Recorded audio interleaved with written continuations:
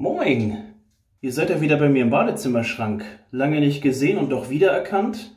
Erkennt ihr mich auch wieder? Ich habe mir sagen lassen, dass ich mich ein bisschen verändere, seit ich hier bin. Ja, aber ein bisschen Anpassung muss sein. Okay, aber für das, was ich heute vorhab, äh, ist der Hut vielleicht ein bisschen unpraktisch. Ebenso, dass ich schon angezogen bin. Deshalb gehe ich nochmal ganz kurz zurück ins Schlafzimmer und ändere das.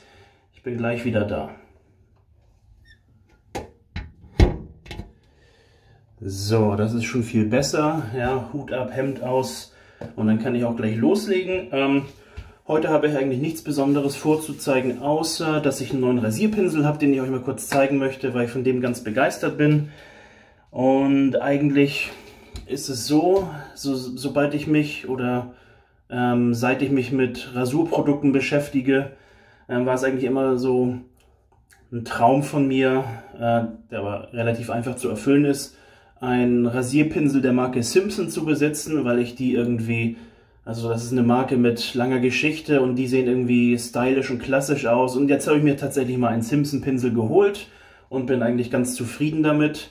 Zu dem möchte ich euch gleich ein bisschen was sagen. Ja? Also erstmal zur Marke Simpson. Alexander Simpson äh, stellt Rasierpinsel her in, in Großbritannien auf der Isle of Man seit 1919. Ja? Und da gibt es einige ähm, super hochwertige äh, Qualitätspinsel. Ich würde sagen, Qualitätspinsel sind das alle. Ja, und da gibt es aber auch einige, ähm, zum Beispiel, wenn man sich die, ähm, die, die Dachshaarpinsel von Simpson anguckt, die kosten teilweise hunderte von Euro. Also ja, wirklich teilweise ganz, ganz edle und hochpreisige Produkte. Ich habe mir aber, ähm, weil ich nicht unbedingt so viel Geld für einen Rasierpinsel ausgeben möchte, auch wenn es sich vermutlich lohnt, ähm, ich habe trotzdem zu einem preiswerteren Modell gegriffen, das trotzdem, äh, mit dem ich trotzdem sehr zufrieden bin. So, ich kann einmal in die Kamera halten, bevor ich so viel rede und euch gar nichts zeige.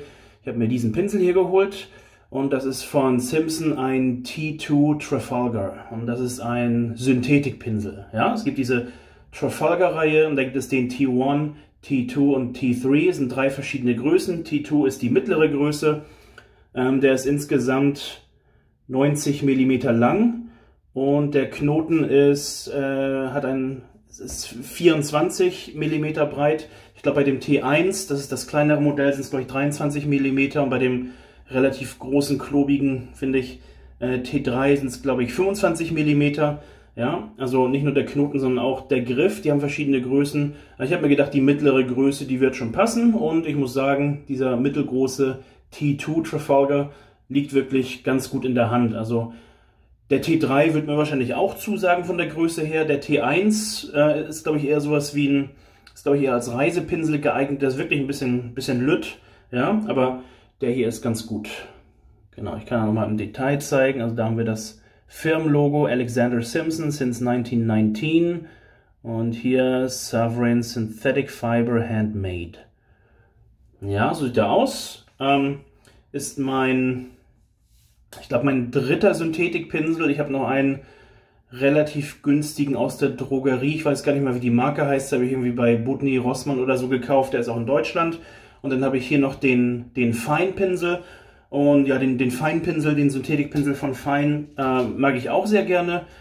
Der hier äh, ist im Gegensatz zu dem Feinpinsel, finde ich, ein bisschen, äh, hat mehr Rückgrat. Also die Borsten sind ein bisschen robuster, ein bisschen, ja, ein bisschen weniger nachgiebig, äh, ist aber weder positiv noch negativ, ist einfach Geschmackssache und es ist trotzdem ein Pinsel, mit dem man sich sowohl mit Rasiercreme als auch mit Rasierseife, finde ich, einen sehr schönen Schaum aufschlagen kann.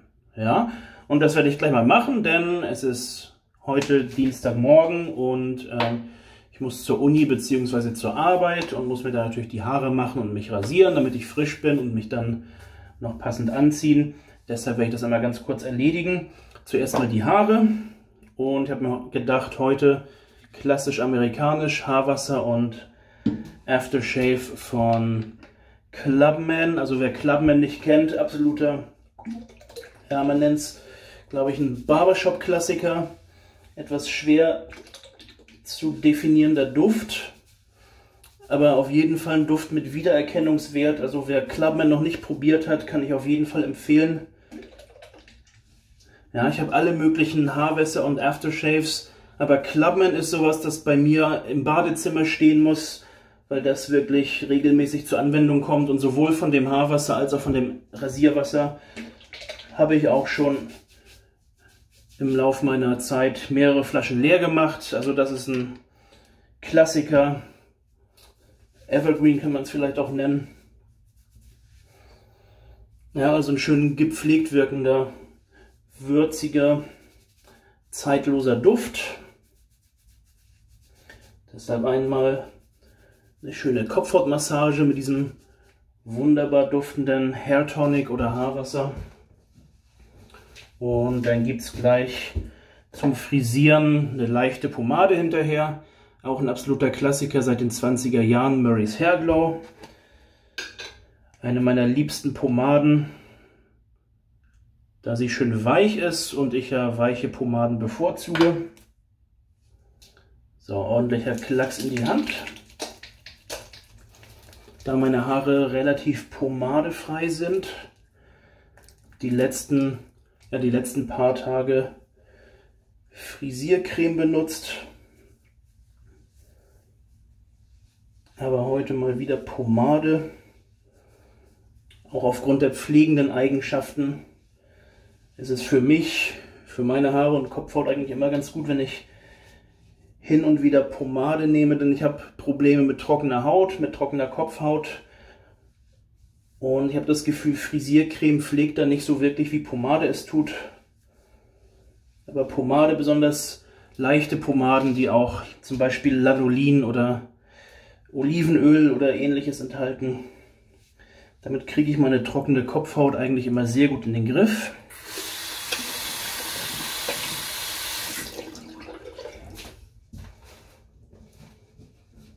Ja, deshalb, auch wenn sich mit Frisiercreme meine Haare gut, gut in Form bringen lassen, aber hin und wieder muss dann doch wieder Pomade sein. Ja, muss klingt so wie eine lästige Pflicht, aber Pomade ist ja auch ein tolles Produkt. Deshalb ist es doch immer wieder eine Freude, wenn ich mir eine Pomadefrisur machen kann.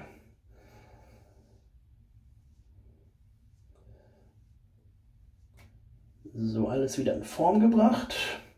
Haare sind für meinen Geschmack hinten und an den Seiten schon wieder einen kleinen Tick zu lang. Ich denke mal, ich werde vielleicht jetzt kommenden Samstag wieder zum Friseur gehen und dann das Ganze einfach so ein bisschen aufräumen lassen wieder.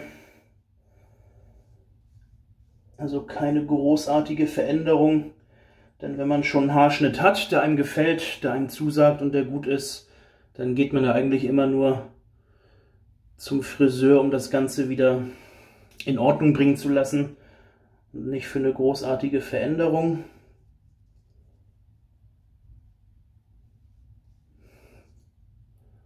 So. Ja, würde sagen, das geht. Vielleicht nachher, bevor ich aus dem Haus gehe, noch einmal kurz nachkämmen, noch einmal nachbessern. Aber die äh, Grundfrisur steht erstmal. So. Dann kommt jetzt als nächstes die Rasur. Dann nehme ich natürlich den Trafalgar her und eine Rasierseife. Klassiker heute, heute nichts Spezielles, einfach ganz klassische Sachen.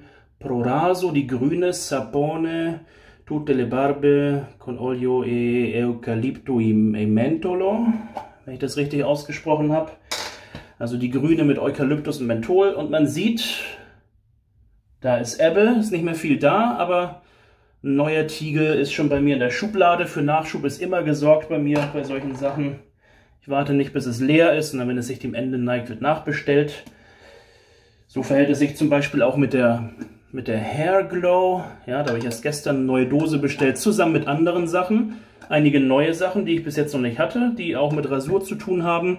Das heißt, da kommt dann auch wieder ein Video. Ja, okay. Einmal den Pinsel nass machen.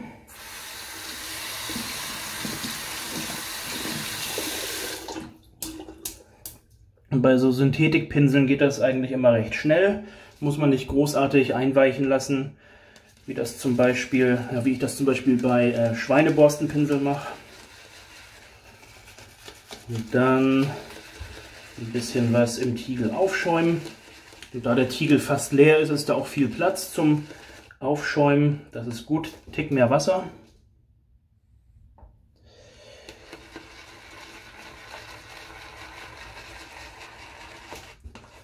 So, da bildet sich schon ein vernünftiger Schaum.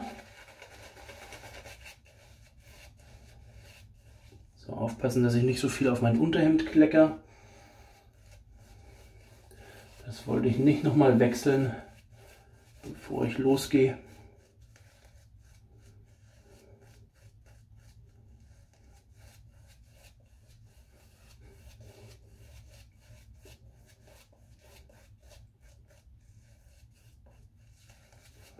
So, einmal alles eingeseift.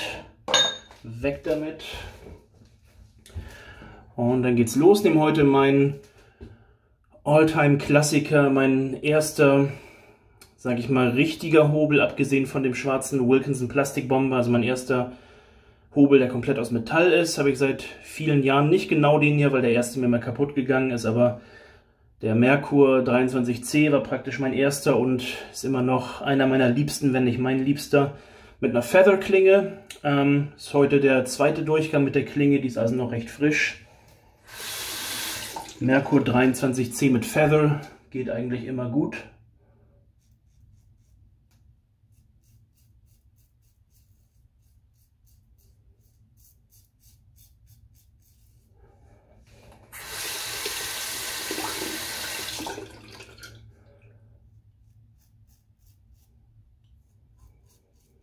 Ja.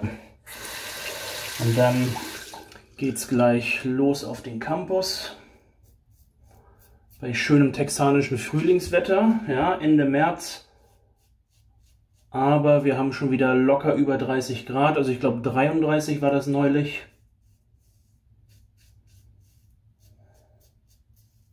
Da ist Deutschland, soweit ich weiß, gerade noch nicht.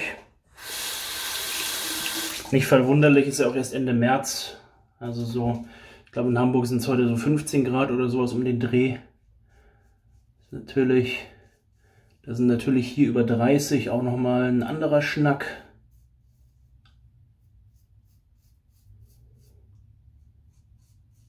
Aber mir gefällt es, habe mich mittlerweile dran gewöhnt.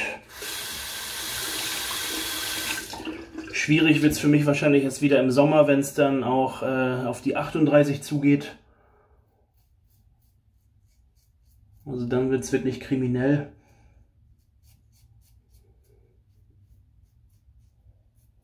Aber so wie heute oder die Tage 30 bis 33, das ist durchaus zu ertragen. Und ich finde es schön, dass ich fast das ganze Jahr ohne Jacke rausgehen kann. Eigentlich immer mit kurzärmeligen Hemden. Ja, das ist eigentlich eine Sache, die mir sehr gut gefällt.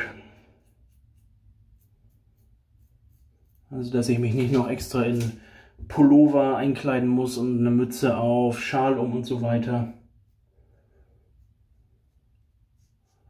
Ja, also ich mag es schon, so in kurzer Hose und kurzem Hemd rumzulaufen. Alles schön luftig.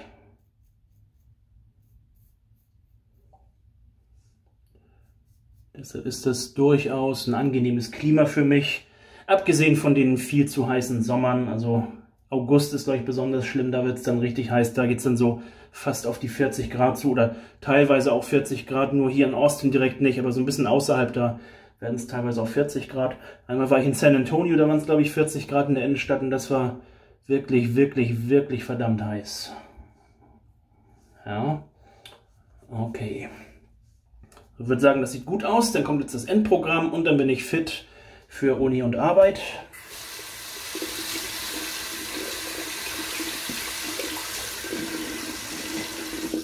Deshalb alles nochmal mit kaltem Wasser ablöschen.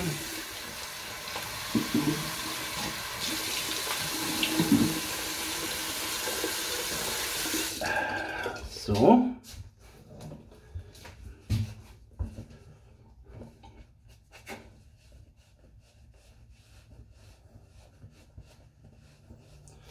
Okay, und zur, Zum gepflegten Erscheinungsbild gehört natürlich auch ein gepflegter Duft, deshalb, wie angekündigt, das Clubman.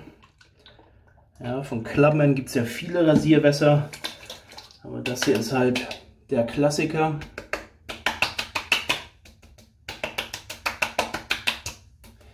Selber Duft wie das Haarwasser, nur intensiver. Also ich denke, das Haarwasser ist einfach so eine etwas verdünnte Variante von dem Aftershave. Ja, also unterscheiden sich hinsichtlich Inhaltsstoffen, glaube ich, gar nicht. Nur die Dosierung ist wohl anders, damit das Haarwasser nicht ganz so stark duftet. Und ich bin fertig. Ja, lange Rede, kurzer Sinn. Jetzt muss ich auch gleich los. Aber wie schon angekündigt, habe ich mir noch ein paar Sachen bestellt, die ich auch demnächst vorstellen kann. Und da kann ich noch so ein bisschen erzählen, ja. Aber für heute war es das erstmal wieder. Deshalb schön, dass ihr mal wieder in meinem Schrank Platz genommen habt. Ich muss euch jetzt wieder einschließen, aber freue mich schon darauf, dass ihr bald wieder hier im Schrank sitzt, in Austin, Texas, in meinem Badezimmerschrank, wie es sich gehört. Ja? Also bis zum nächsten Mal.